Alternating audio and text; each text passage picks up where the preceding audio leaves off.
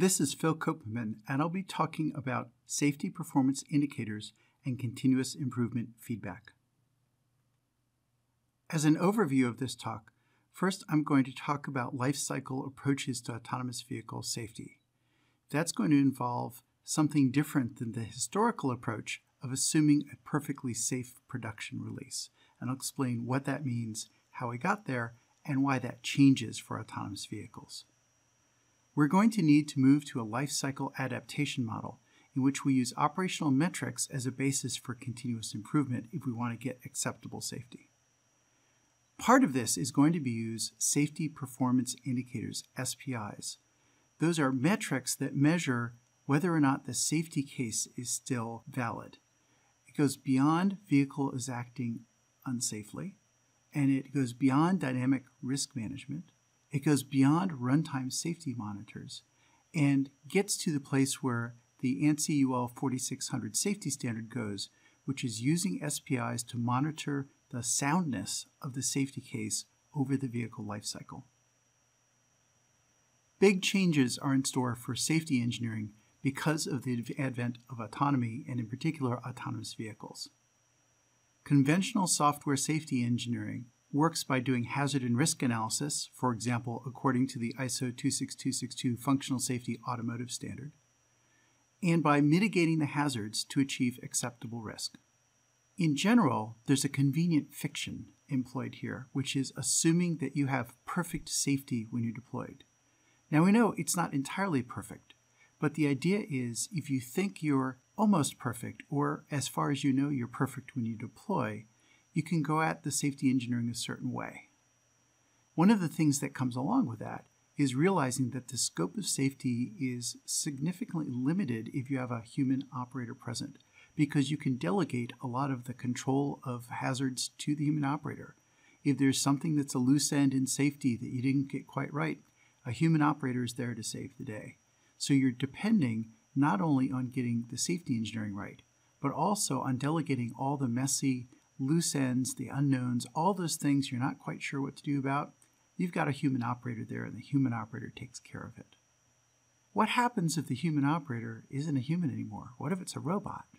Now, this is a fun picture of a humanoid robot that actually did drive a vehicle for a short distance, but what we expect is the ability to drive the car goes into the car itself, giving us an autonomous vehicle with no need for a human driver safety for autonomous systems isn't about a notion that when you ship the vehicle, you're done, that's it for the life cycle, it's safe. That's not going to work for autonomous vehicles. You're going to have to look at change over the life cycle. Partly that's because machine learning based validation is immature. We're just not to the point where you can build a machine learning system and be absolutely certain it will be safe for its lifetime with life critical responsibility. We're just not there yet. But even if we were there, you'd have an additional problem that the environment itself is imperfectly understood. You don't know everything you're supposed to teach the machine learning system so that it can be notionally perfect at it. There's unknown unknowns, there's gaps in requirements, and so on. Even if you were able to get the system perfect on the day you deploy it, even in a messy open world, that world's going to change the second you deploy, the next day, the next year, things will change that your system isn't ready for, and so you're going to have to evolve to keep up with the changing world. When it comes down to it, you're going to have to, for safety, join security and end up doing constant system monitoring and constant system updates for both safety and security. Given security issues, it was already going to be that way for conventional systems. But once you add autonomous functionality, especially things like machine learning, there's just no way around it we're going to have to keep evolving and adapting these systems over the system lifecycle. So the question is, how do you do that? Let's start by looking at traditional safety engineering.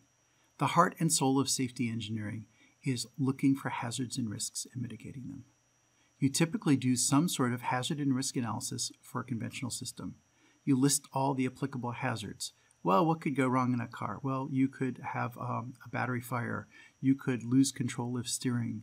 You could have a system where the cameras fail or the LiDARs fail, or there could be an unexpected object in the road. There's a long list of hazards of things that can go wrong that you need to deal with if you want to be safe. You characterize the resultant risk of each hazard and you make sure that any hazard that is too risky is mitigated. You update the design, you limit the operational design domain of the system so it just doesn't operate in areas that you cannot control the hazards adequately, and so on. And you keep iterating. You find a hazard, you mitigate it, you find a hazard and mitigate it until the overall risk presented by the design is acceptable. And at that point, it's time to deploy. With conventional safety, you're done. If you know all the hazards and you mitigate them all, that's it. You're safe. Time to go. At least in a theoretically perfect world. There are many different techniques you can use to create this hazard list. You typically start with lessons learned from previous projects, although if it's a novel project, you may not have much on that. Use industry standards, and there are structured brainstorming and analysis techniques, failure mode and effect analysis, fault trees, hazard and operational analysis called HAZOP. Bring your own favorite approach. There are many different approaches, and this talk we're not going to get deeply into them. But suffice it to say, there are structured ways that safety engineers have been working on for decades to try and find all the hazards so that you know what needs to be mitigated and mitigation techniques to do that. The presumption here with traditional safety engineering is that all hazards have been identified and covered before deployment. And along with that, that only works if you have a fully characterized operating environment. For industrial controls and things that happen inside a car, that might well be a completely reasonable assumption but as soon as you get into detecting objects and events in the external world, the assumption that you actually understand the operating environment 100% becomes highly questionable.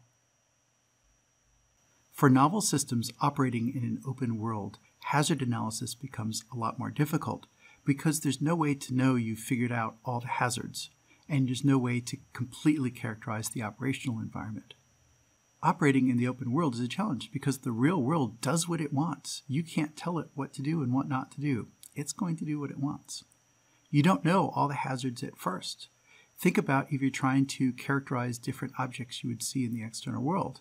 How do you know what all the objects are? Well, the objects are what they are. You can observe, you can find some, but there's probably something you missed unless you have incredibly long observation periods. So you don't know all the hazards. What do you do? You test, you test, you test, you test some more until you've uncovered enough hazards. From a process point of view, what it looks like is you have a design cycle that does the hazard analysis up front. You then go into testing. And once you're testing, you find surprises, things you didn't think of in the design.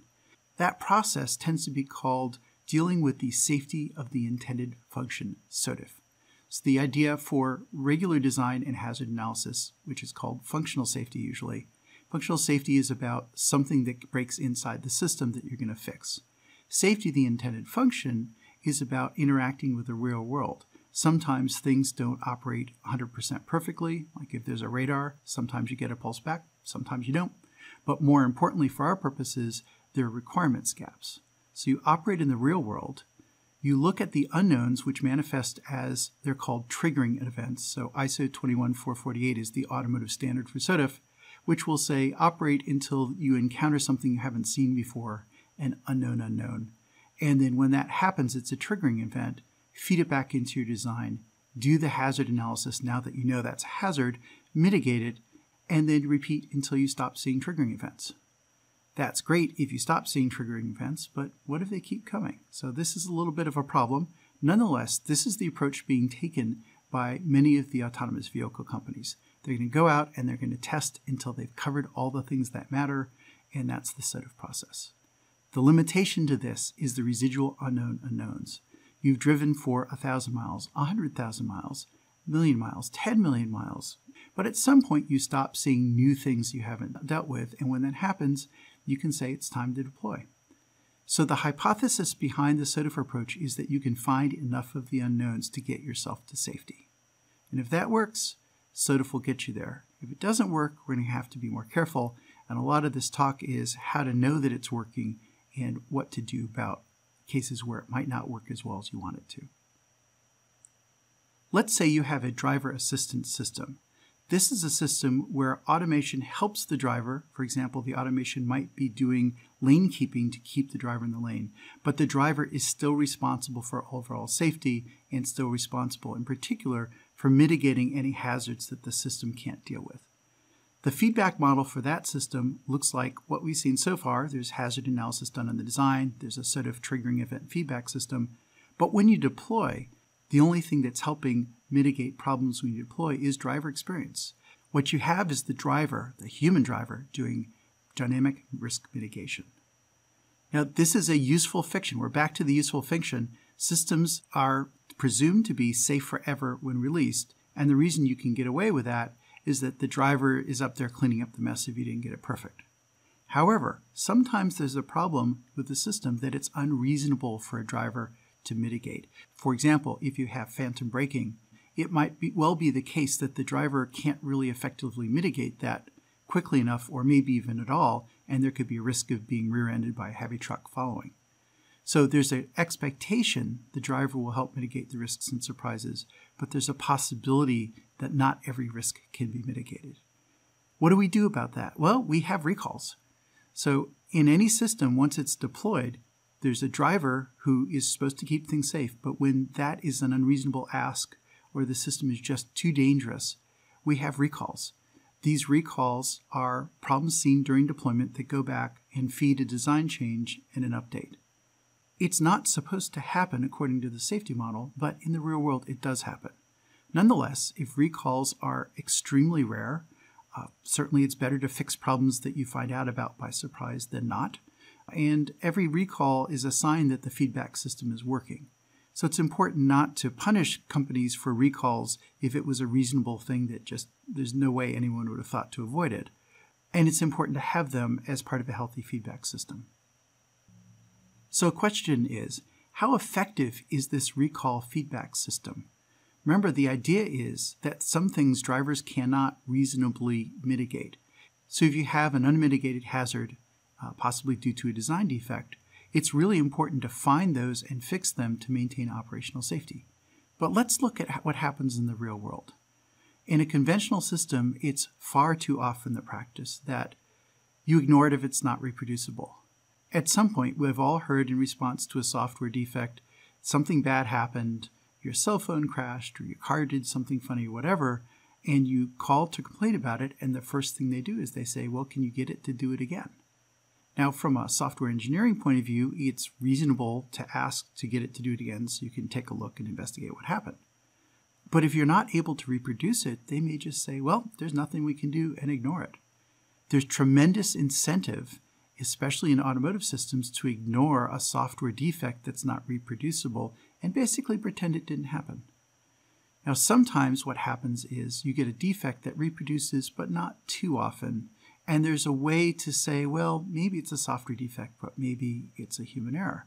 Maybe the engine controller applied too much torque to the vehicle and the vehicle sped up when it should not have, or maybe the human driver pressed the wrong pedal. I mean, who knows? So you blame it on the operator. It's easy to blame the operator because how's the poor operator to prove they didn't do something wrong? So you see the cycle in safety critical systems. You ignore it if it's rare and not reproducible. If it happens too often to ignore, you blame the operator. And then when blaming the operator stops working, you say, well, we're going to fix it with education. We're going to train our operators on workarounds or mitigation. You see this especially in aviation, that uh, if the aircraft does something wrong, you say, well, the pilots are trained to deal with it, so we don't have to fix it okay, that works to a degree, but there's some things that can't really be worked around. So you try again to blame it on the operator for not doing the workarounds, and you only very reluctantly do a software update. For those of you who followed the Boeing 737 MAX issues that included two crashes of, of aircraft, you'll find that this is the cycle that was followed. And eventually they did do a software update, but only after trying to blame the operators and so on. This behavioral pattern happens in every safety critical area. It's across domains. And why does it happen? Why does it persist? Well, partly there's a power imbalance between the victims and the system designers. If there's an airplane crash, the people and their families who were affected by the crash don't have a lot of power to go up against the large airframe manufacturers. That's what the regulators are for. But there's also a normalization of a moral crumple zone strategy. This is especially bad in automotive. A moral crumple zone is when there's an equipment failure, you find the nearest human and you blame it on them instead. And you typically have a narrative, well, the person should have done this thing to compensate for the equipment failure. But it may be that it was unreasonable to ask that, and what you're really doing is just finding someone to blame so that you don't have to fix the problem. There's pervasive poor adoption of software engineering practices. Uh, it varies from domain to domain, but it's very common to see domain experts writing software who do not have a particularly rigorous software engineering education. And that is leading to a lot of questionable quality code that ends up sometimes in life critical applications. That's a persistent problem across many industries. And finally, one of the reasons that this pattern persists is that the feedback loop is called a recall. And recalls are bad and, and they bring legal consequence, so we try not to do recalls. So just calling the feedback loop a recall is actually harmful in practice.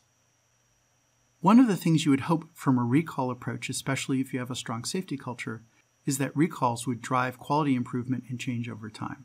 So right now we're doing a recall approach. How's that working out for us?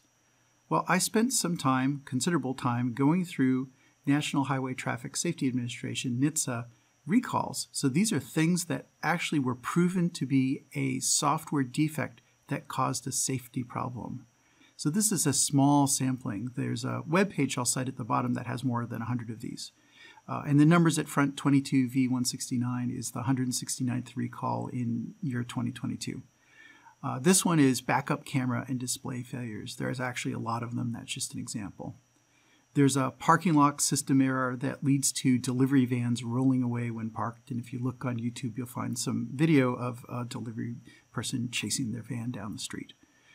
21V873 and many, many others, airbags disabled. So this means there's a crash and the airbag does not go off, and the reason it did not go off is a software defect. There's phantom braking, where a vehicle stops or panic brakes for no reason, uh, in this case due to an inconsistent software state after power up. There's battery controller reset disconnecting the electric drive motor power, meaning that you lose power on the highway, possibly with high speed traffic behind you. There's an improper failsafe logic that degrades braking performance, so your brakes don't work as well as they're supposed to. There's one that has a communication disruption that results in malfunctions of wipers, windows, lights, and so on. Reading the problem report, it sounds like the car acts like it's possessed or something. There's a bunch of them with airbags deploying too forcefully or deploying when they're not supposed to deploy. Again, these are all software defects, not the mechanical defects. There's one where the engine does not reduce power, so you take your foot off the accelerator and the car keeps going. There's one where an unexpected steering motion causes loss of control, and again, that's a software problem. And there are some where there's an unattended vehicle that starts its engine, for example, in your garage with the garage closed and ends up with carbon monoxide poisoning risk to the occupants of the house. There's a web link here with a list of more than 100 of these.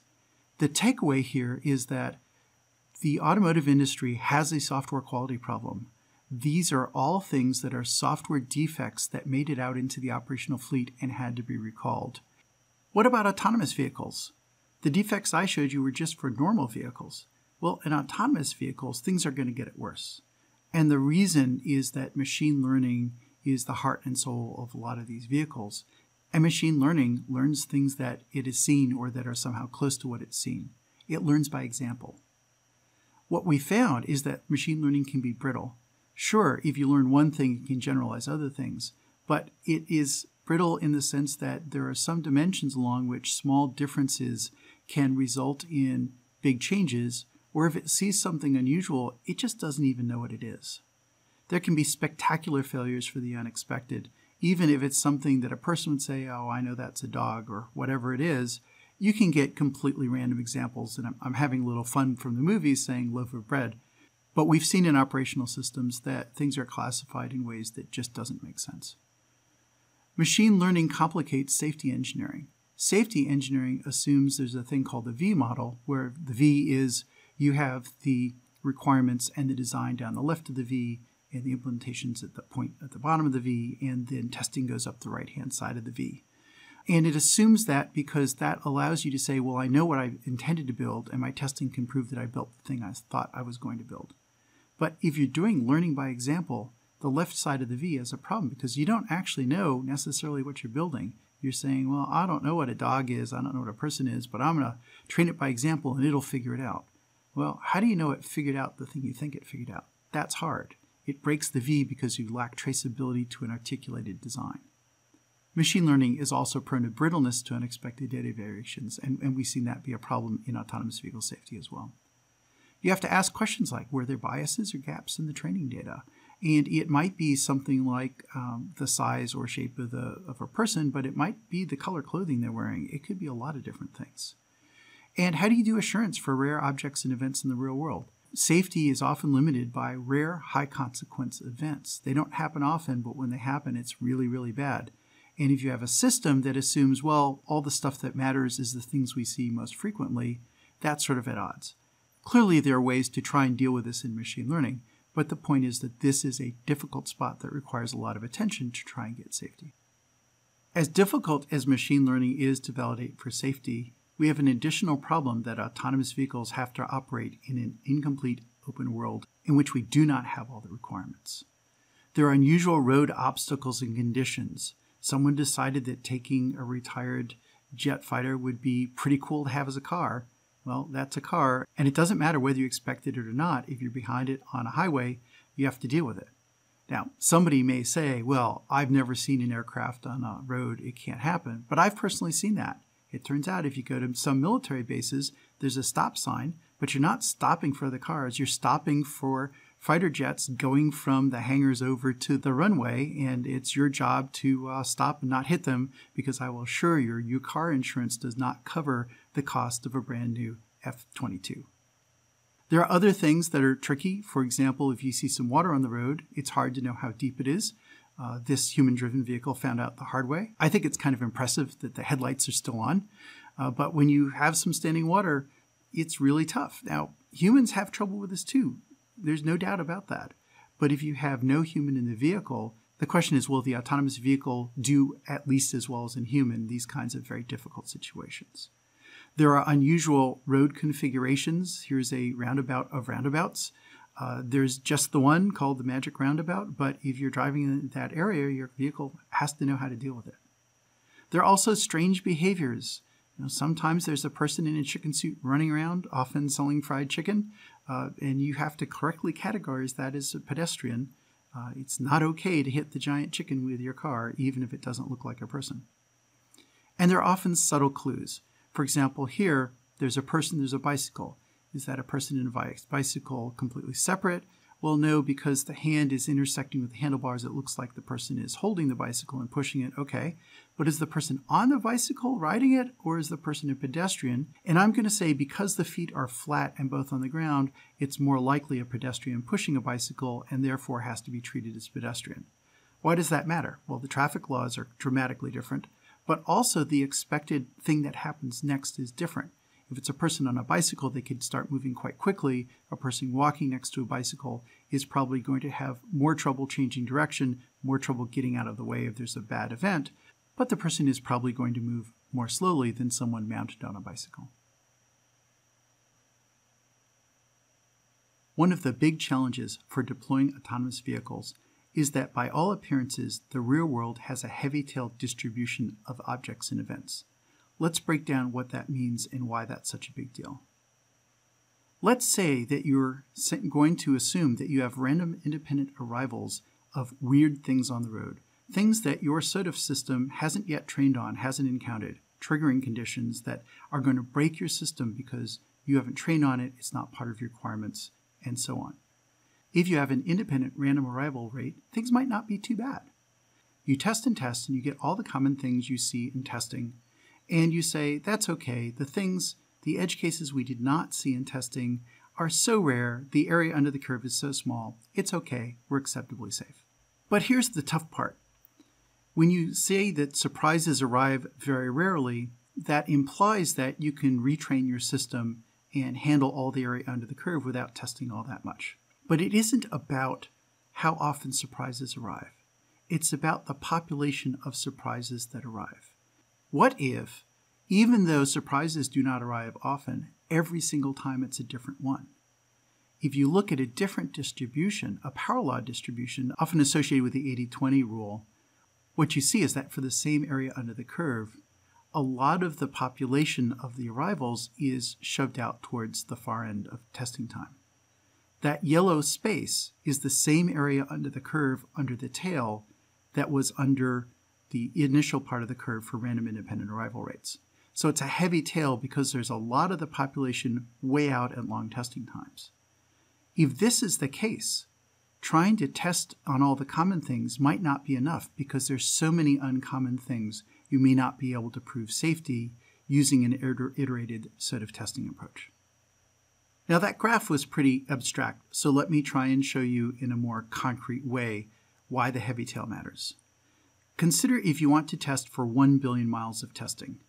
In the US, there's about one fatal crash per 100 million miles, and you may need perhaps a billion miles of testing to get statistical significance. And by the way, that number includes all the drunk and impaired drivers, so that's a lower bound. You probably want to be better than that. But still, you're talking a billion miles of testing. Now the question is, if you do the billion miles of testing and fix everything you find, will that be safe enough in the end? Let's consider two examples. For the first example, let's say there's 100 surprises and each surprise happens every 100 million miles. If you do the math, you'll see on average that's one surprise per million mile, but there's 100 different ones. Nonetheless, if you test a billion miles, you're going to see each one of those surprises 10 times, and you have a good chance of figuring out what it is and fixing it. Here's the rub.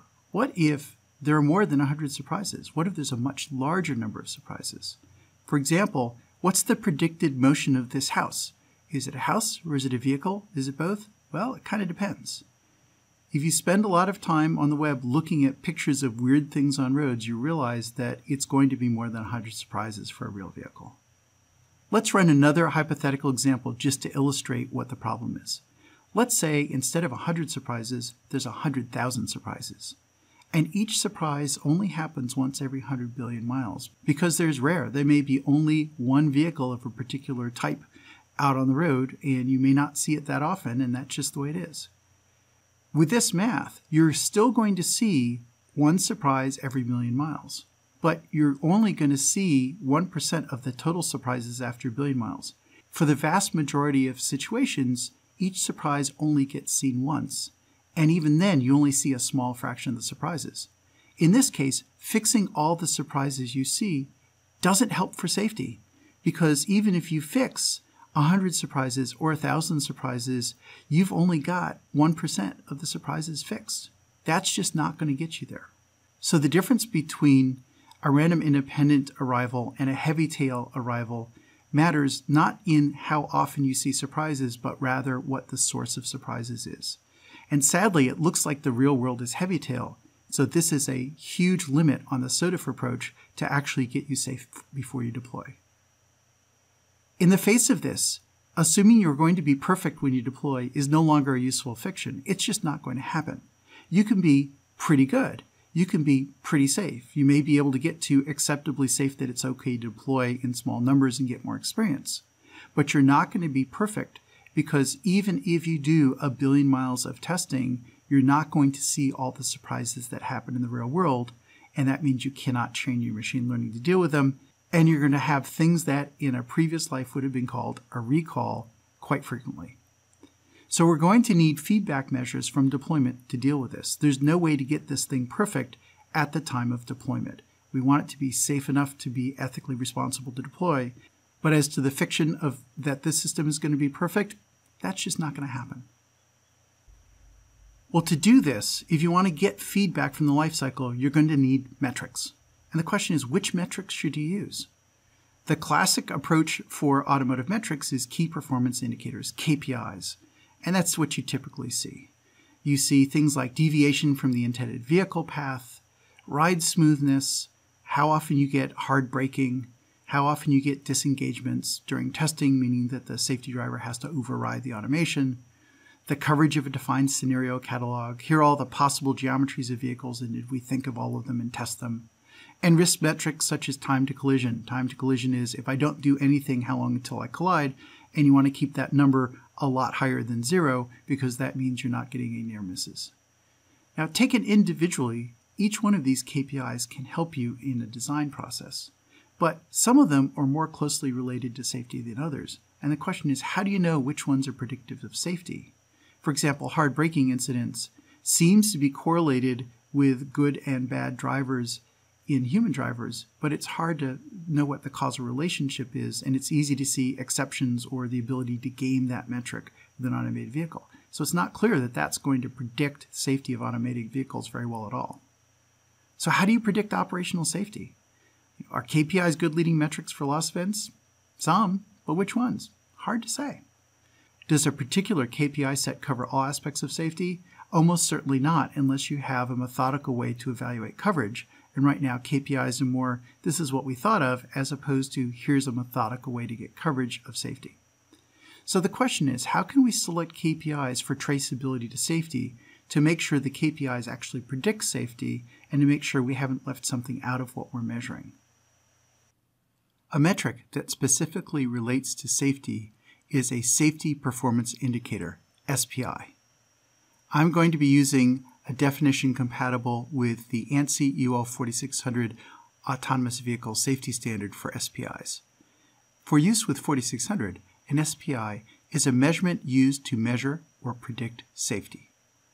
There are lagging SPI metrics. This measures how it turned out, such as the arrival rate of adverse events compared to risk budget. So you might have a non zero number of crashes per hour, but it should be a very low number. The SPI would measure how crashes are happening in terms of the allowable budget. And incidents. These could have been a loss event, except you got lucky and there was nothing there to hit, although something could have been hit if you're unlucky. For example, running a red light or traveling the wrong direction in a lane of travel. These are called lagging because it has to do with how the vehicle actually behaved on the road, which lags behind the design process. You also need leading metrics to predict safety. Leading metrics are things that can go wrong but don't necessarily produce a crash. They're just a symptom of something's not quite right, and they should be predictive eventually, if you keep doing that, you'll eventually have a crash. The question is, how do you take some measurement and know that it's a leading metric other than just by saying, well, it sounds like it might be? And the answer to that is you link the leading SPIs to the safety case. Well, what's a safety case? A safety case for autonomous vehicles looks like this. There's a claim, it's a property of the system, such as the system avoids hitting pedestrians. There are one or more arguments. The arguments are why that claim should be true. For example, we avoid hitting pedestrians by detecting and maneuvering to avoid. Each argument is backed by either sub-arguments or evidence. In this case, evidence might be tests, analyses, simulations, and so on. So the idea is you have a claim, argument, evidence chain saying, here's why we think we're safe, and then here's the arguments and evidence to back that up. If you have something that's really complex, you're likely to have subclaims and arguments to address the complexity going claim, argument, subclaim, subclaim, subargument, subargument, all the way down to lots of evidence. So it's expected that a safety case can get fairly big and fairly complex. But ultimately, if you want to say you're safe, there should be a way to explain to someone else why you believe it's safe and what the evidence is to back that up. For a claim of we don't hit pedestrians, it would be perhaps we detect pedestrians and here's some evidence that's true. We maneuver around detected pedestrians, and here's why that's true. And if for some reason we can't maneuver, then we're going to be able to stop, and here's why that's true. Well, how do SPIs relate to the safety case? Here's the idea. The SPIs instrument the safety case. Here's a safety case where I've only included the claims and I've left out the arguments for illustration purposes. And let's say the top claim is the vehicle is acceptably safe. And that's because it avoids crashes and some other things and it avoids crashes because it detects objects and some other things. Underneath it detects objects, there are some other things that sound a little less behavioral but are nonetheless important for safety. For example, for detecting objects, your sensors have to be effective or you can't detect objects. And one of the things having to do with sensor effectiveness is whether they're kept clean or not, because an optical sensor full of mud is not going to be able to see anything. And there also needs to be data fusion effectiveness. And that may have to do with the algorithm, but it may have to do with the implementation quality of the software. It may have to do with the test coverage to validate the software and so on. So a safety case is more than just here's the behavior. The safety case for a UL 4600 application has to do with the entire life cycle of the vehicle, all the software, all the infrastructure that supports it. All that has to be in place to get safety, and the safety case needs to reflect that. Well, SPIs come in by monitoring the validity of the safety case claims. So an SPI is something that says, well, you said you were going to avoid crashes, but a crash just happened. So what's up with that? And it may be okay in terms of the safety case to have a crash as long as it's very, very seldom. So the SPI would collect data about how often crashes happen and compare that to a reference baseline that says, well, the vehicle is safe if it crashes hypothetically one tenth as often as a human driven vehicle. And you may say, okay, we had a crash, but over the fleet, the crash is happening only 10% as often as for human vehicles. So that SPI indicates we're actually doing okay on the safety case. In principle, every single claim in the safety case can have an SPI associated with it. Now, in practice, it's more likely it's a large number of claims that are spread throughout the safety case rather than literally every single one. But in principle, if you have a claim and you can figure out how to measure it, that's the opportunity to have an SPI. If you look at the structure and think about leading versus lagging, where lagging is outcome and leading is things we have predictive power, what you'll see is that SPIs towards the bottom of the safety cases drawn here tend to be more leading metrics, and SPIs towards the top tend to be more lagging metrics. Leading versus lagging is not a strict categorization, but rather a spectrum of things that tend to be more anticipatory and things that tend to be more about outcomes in the operating environment. Now, let me give you some examples because the idea of an SPI may sound sort of abstract based on that. So let's give some examples and then give a little more rigor about what SPIs really are. Think about it at the system level, so sort of towards the top of the picture we just saw. A system level SPI would be road testing incidents were caught by a safety driver in testing. Uh, and if there are a lot of them, that means you still have a lot more work to go and, and you're not near safe. You really want to have no road testing incidents the driver has to intervene before it's time to deploy.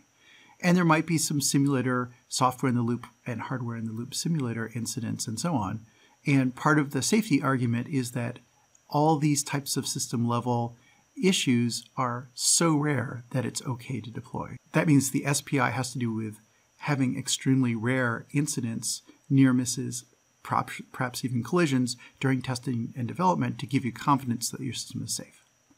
They're going to be subsystem level SPIs.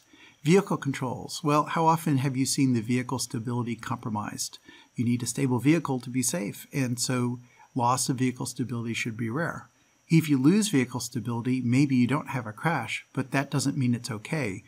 A loss of vehicle stability means that your claim that my stability control system will keep my vehicle able to maneuver might not be true, and so there should be an SPI to measure that. For path planning, one of the things you care about is that you leave some extra margin when going past a pedestrian. You don't want to be passing a pedestrian by one centimeter every time. If you do this, something will go wrong. So you may have a buffer and just simplifying, let's say you need to be no closer than one meter to a pedestrian when you pass by them in a certain operational scenario. Okay, but let's say you're consistently at 0.9 meters instead of 1 meter. Does that mean you hit someone? Uh, probably not. But you have an issue that you said you proved you would never be closer than 1 meter, and here you are consistently at 0.9. Something's wrong. You don't understand safety, and if you don't understand safety, eventually something bad is likely to happen. For perception, you look at the false negative non detection rates. For prediction, you say, well, there's unexpected object behavior, we kept predicting the following would happen and we kept being wrong about it. So now I can't trust our predictions when I'm claiming safety. Those are the type of subsystem SPIs you would see, are things where it's just not working as you expected. There are also lifecycle SPIs. There are maintenance errors, there are invalid configurations. Sadly, those numbers won't be zero, but if you have lots of maintenance errors, that's going to catch up with you eventually and result in a loss event out on the road. Now that we've talked about some examples of SPIs, let me come back and give a more detailed definition of what an SPI really is. First of all, you've noticed that I'm pronouncing this SPI rather than saying SPY. I recommend you use SPI instead of SPY. Uh, and the reason for that is I used to say SPY, and then I met with some government officials in Washington, D.C., and they asked me quite seriously what the Central Intelligence Agency had to do with autonomous vehicle safety, and I realized what the confusion was. So I recommend you as well always use SPI rather than SPY. An SPI is a metric supported by evidence that uses a threshold comparison to condition a safety case claim. Now that's quite a mouthful, but let me break it down for you. By metric, we mean a measurement of performance or design quality or process quality, operational procedure conformance, etc. Some metric that has anything at all to do with life cycle that is relevant to safety. There also needs to be a threshold, some sort of acceptance test on a metric value. Now, the notion of threshold here can be pretty loose. It can be an incredibly complicated function that computes whether or not the SPI value is in the safe zone or not in the safe zone. You know, that's okay. But ultimately, it boils down to some sort of Boolean comparison that produces a true or a false. So the idea is you have a metric, and the metric is either good or not good. The threshold is often statistical. It's quite common to have some sort of SPI threshold that of the form, well, X is bad, but the SPI violation threshold occurs when X happens more often than so many events per billion miles, for example. And this is important because a particular event, while maybe very undesirable, might still be acceptable if it's extremely rare. So, for example, if you have a crash, saying that you have a crash doesn't necessarily mean your system is unsafe in terms of acceptable safety. It's if crashes happen too often that you have a problem. The perfect system that never crashes hasn't been built yet and probably never will be built. So it's all about the statistical numbers rather than the specific behavior over a very short period of time. There's some evidence. The data is used to compute the metric. So you have data from evidence computing a metric, and that threshold comparison conditions a claim. So we're back to the safety case now. You've made a claim. We claim that such and such is true. And the such and such claim is not that it's true 100% of the time, but rather the claim is this is true to the degree that we get fewer than X undesirable events per billion miles, for example. So a threshold violation falsifies a specific claim in the safety argument, which means that the argument for that claim is potentially proven false by the SPI. Let me go back and look at that a different way. You have a claim, the following can never happen, but the SPI measures whether it actually happens. And if it actually happens, well, that claim must be false and something's wrong with your safety case. Anything that misses one of the above criteria is not an SPI, it's a KPI. In particular, if you have a KPI and you can't point to a specific claim in the safety case that is directly measured or potentially falsified by that KPI, then it's not an SPI. KPIs can be useful, but it's hard to relate them to actual safety outcomes. On the other hand, an SPI, by its very nature, is relevant to deciding whether your safety case makes sense, and that makes it some sort of indicator as to safety, or at least the validity of your safety case. The idea is if you have an SPI violation, part of your safety case is not as strong as you thought it was, and that should be a concern for safety. Now let's talk about how SPIs work with lifecycle feedback. The SPI is a direct measurement of a claim failure.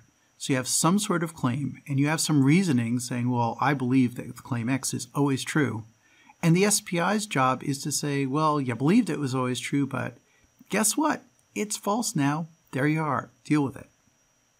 So the SPI takes its own measurements and measures whether or not the claim is false in practice as opposed to the nice theoretical world of the argument you presented.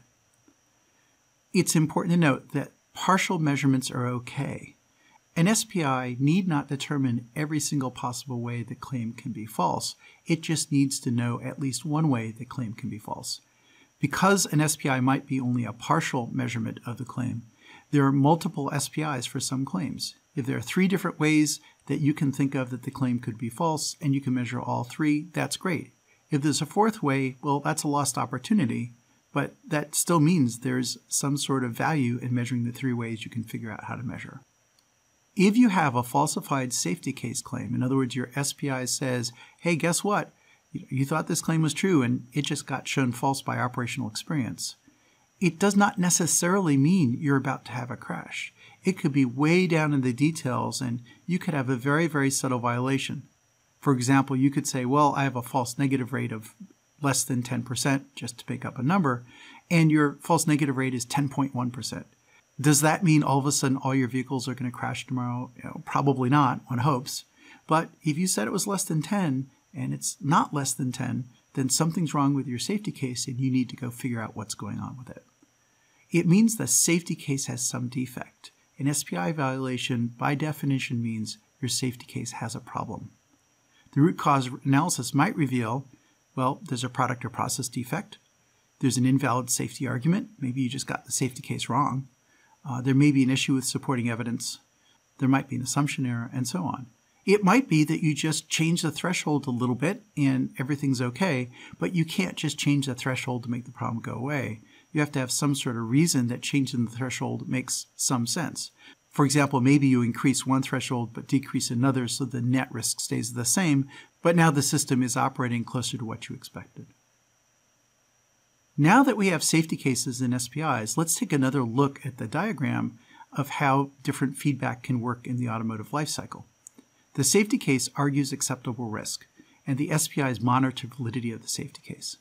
You still have the hazard analysis and updating the design cycle that we saw for conventional vehicles, it makes perfect sense to mitigate all the hazards you can think of before you start operating, but we know there are going to be some hazards that either you didn't think of or that come into existence, they just evolve spontaneously in the real world after you release. During deployment, you're going to want a runtime safety monitor to help with runtime safety. Remember, with an autonomous vehicle, there's no human driver to mitigate risk if there's something you missed. So you want the runtime safety monitor. But just as importantly, you also want to use SPIs to feed back data to the safety case. So if there's a problem in design, there's a problem in testing, there's a problem in deployment, sure, go ahead use the runtime safety monitor to take care of the immediate situation. But just as importantly, realize your safety case missed something, your safety case had a defect in it, use the SPI data to go back, fix the safety case, and fix whatever needs to be fixed so that you don't have a problem the next time you encounter that situation. It's easy to think that SPIs are just about monitoring dangerous behavior. Okay, an SPI monitors when the vehicle does something that's obviously wrong. But SPIs go beyond that. Acts dangerously is only one dimension. Sure, go ahead, look at the violation rate of pedestrian buffer zones. Passing too close to a pedestrian is a problem. Failing to stop at a stop sign is clearly a problem. Look at how often you're closer than you should be to the following distance of a vehicle in front of you. Those are sort of obvious ones. However, there are also components that need to meet their safety related requirements. There may be a false negative or positive detection rate criteria on a certain set of sensors, and you need to be as good as you think you are, or else your safety case no longer makes sense. There's very likely to be a limit on correlated multi-sensor failure rates, and that may be very difficult to measure during design. You really want to know if you say, well, I'll detect people because I have three different sensor types, and then there's some sorts of clothing articles that make it so that none of the three sensors detect that person, that's going to be a problem. And you really need to know about that. And you need the feedback from SPIs to tell you what happened before you have a collision with a pedestrian. There are also design and life cycle considerations. You need to know whether your design process has a quality issue. You need to know whether your maintenance and inspections are being done on time and with sufficient quality. In short, if it's relevant to safety, it should be in your safety case. And if it's a claim in your safety case, to the maximum degree you can, you should be figuring out how to measure it and use that measurement as an SPI. Functionality is measured by KPIs. So functionality is, are all the features implemented? Does each feature work as intended? Those are great to have as KPIs, and you should definitely have those KPIs. But they're not necessarily directly linked to safety. You might also say is testing progress on track per schedule. There's a great KPI for project risk, but it doesn't necessarily have that much to do with runtime safety. Runtime safety monitors take the system, they realize something bad's happening, and they trigger a risk reduction. Uh, looks like you're about to have a crash, we're going to slam on the brakes. Looks like you're following someone too closely, we're going to back off from that. You also need to have those. But just because you have a mechanism to reduce runtime risk doesn't mean there's no defect in your system. The SPI is more about finding out the defects in the system via the safety case and fixing them so your runtime monitor doesn't need to activate. So safety feedback by SPIs asks questions like, did the runtime safety monitor miss something? Are there dangerous gaps in the operational design domain that are causing the runtime monitor to trigger too often or that maybe the runtime monitor is not even designed to deal with? Are there problems with the requirements, design, upkeep, and so on? Are there dangerous gaps in the fault responses? So SPIs are about feedback at the design loop level rather than adaptation and feedback solely at runtime. There could easily be some things that are a KPI and also a trigger for runtime safety monitor and also an SPI. That's great. But the three concepts are fundamentally different. And any time when you see one that does all three, that's more of a coincidence than a fundamental property. As a very concrete example, let's look at following distance. Responsibility Sensitive Safety, RSS, is a set of math that helps you decide whether the vehicle is operating in a safe way according to good driving rules. The fundamental example given is following distance.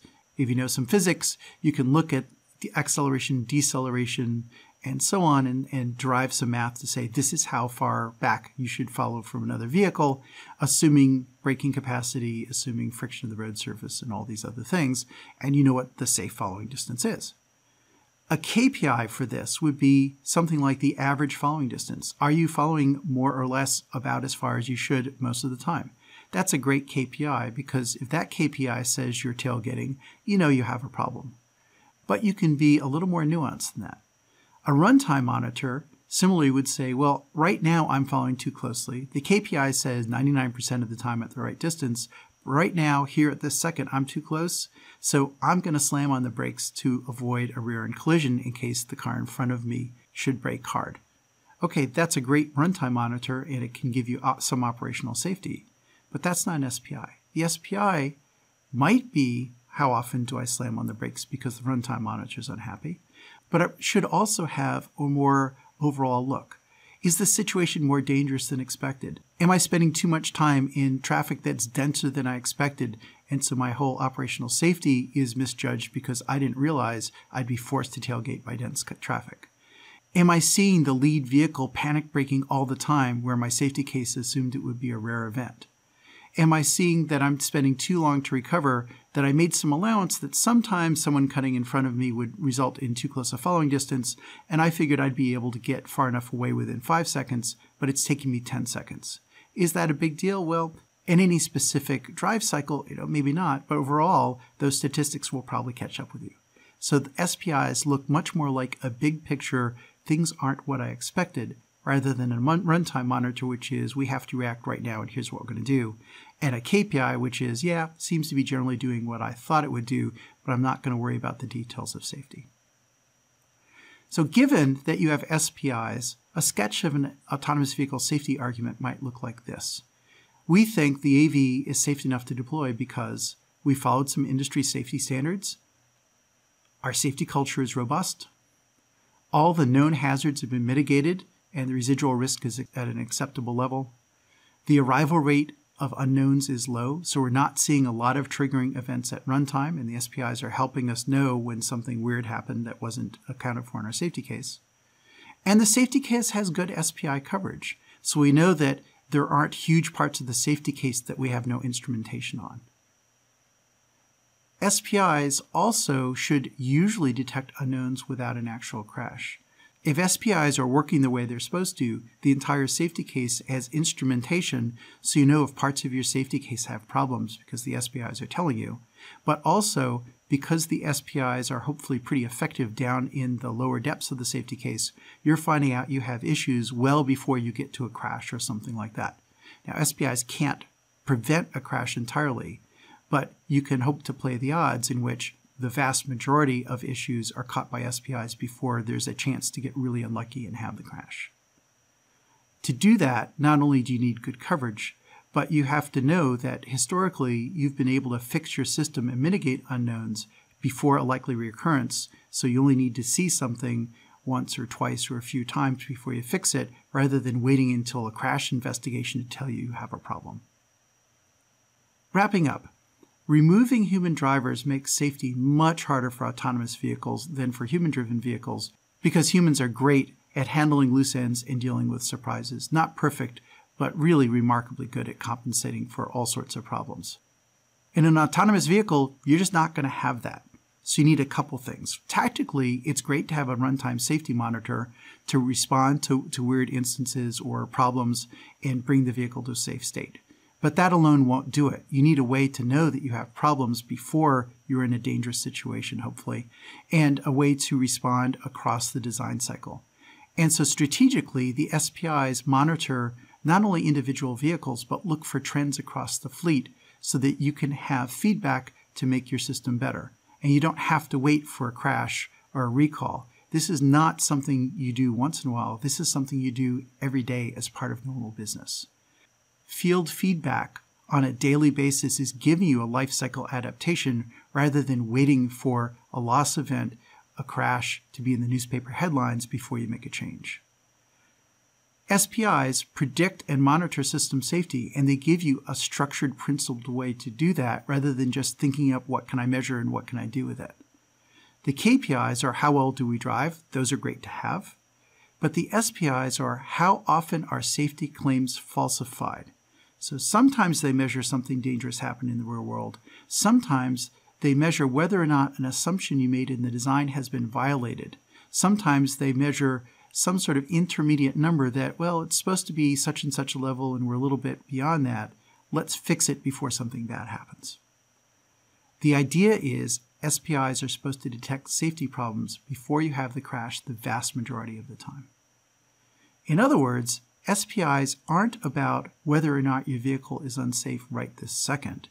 SPIs are much more about, well, you think you're a certain amount of safe because the safety case says that, and the SPIs are measuring are you really as safe as you think you are? And if you want to get ahead of safety and have a safely deployed vehicle, you need to be proactive, and this is a way to do that.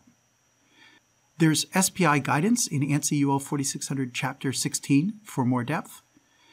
And the big takeaway from this talk is that field feedback will be required for autonomous vehicle safety, but there's a principled way to do that, and that's by using SPIs tied to a safety case to provide a data driven way to do lifecycle safety adaptation.